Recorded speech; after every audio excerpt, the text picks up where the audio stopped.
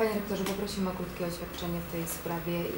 Czy znał Pan mm, tego Pana, o którym mówicie, że planował zamach na Sejm prezydenta? Jaki to był człowiek?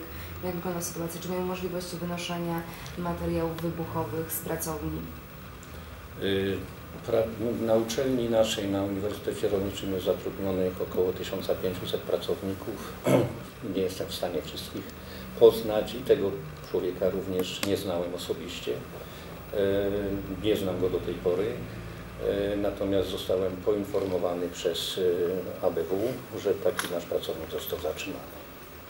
A proszę powiedzieć, czy Wy sprawujecie jakoś, e, na pewno pojawiają się też plotki na uczelni odnośnie e, tego, jaki to był człowiek, od jego współpracowników, czy coś do Pana, Panie Rektorze, dotarło, czy w jakiś sposób kontrolowa- kontrolowaliście e, sytuację dotyczącą ewentualnego wynoszenia materiałów e, wybuchowych e, z Materiałów wybuchowych na naszej uczelni nie ma. My nie prowadzimy żadnych badań. Tak, ale, ale po prostu e, ewentualnych Substancji. substancji, które mogłyby służyć do skonstruowania bomby.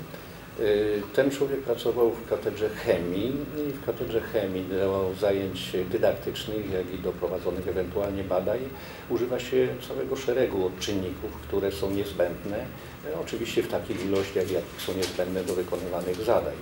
Y, Natomiast y, ja nie jestem chemikiem nie znam się nawet na tym, co można było z tego syntetyzować i wyprodukować i czy faktycznie to zostało coś u nas wytworzone. Ja nie mam żadnej wiedzy na ten temat.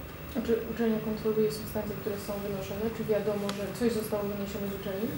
Y, Są bardzo y, precyzyjne procedury odnośnie postępowania ze środkami trującymi, szkodliwymi, niebezpiecznymi.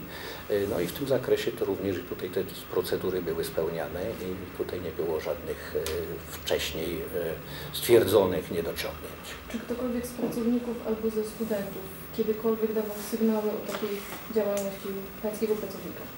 Nie, nigdy nie słyszałem ani ja o tym, ani rozmawiałem również z bezpośrednim przełożonym, też nie miał takiej wiedzy. A o nietypowych zachowaniach, czy, czy wyraźnie jakichś nietypowych poglądów? Czy Czy jakieś skargi na niego były? Nigdy nie docierały do mnie, także przypuszczam, że nie było. Zresztą myśmy mieli okresową ocenę e, nauczycieli akademickich e, w ubiegłym roku i również tutaj w oparciu o tą ocenę nie mogę powiedzieć, żeby był wyróżniającym się w jakąkolwiek stronę, to znaczy pozytywną lub negatywną. Pojawiły się informacje, że ten człowiek został zatrzymany w momencie wychodzenia z pracy, czyli wychodzenia z uczelni. Czy pan to potwierdza? Tych okoliczności zatrzymania ja nie znam. Został pan poinformowany przez ABW, w jakich okolicznościach i dokładnie o czym?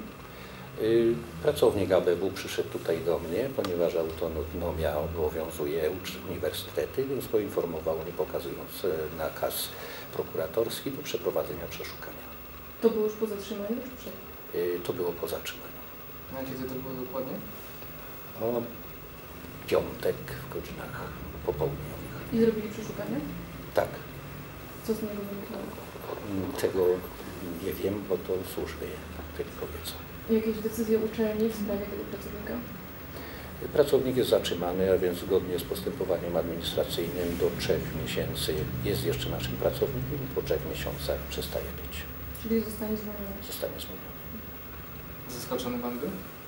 Nie tylko ja, ale cała społeczność akademicka zaskoczona jest. To jest niezwykła sytuacja. Wolelibyśmy, by te okoliczności dotyczące naszego uniwersytetu były lepsze, na przykład związane z dzisiejszą chociażby konferencją dotyczącą scalej, która nie odbija się takim echem jak właśnie to zdarzenie. No ale taki jest świat, jest takie życie.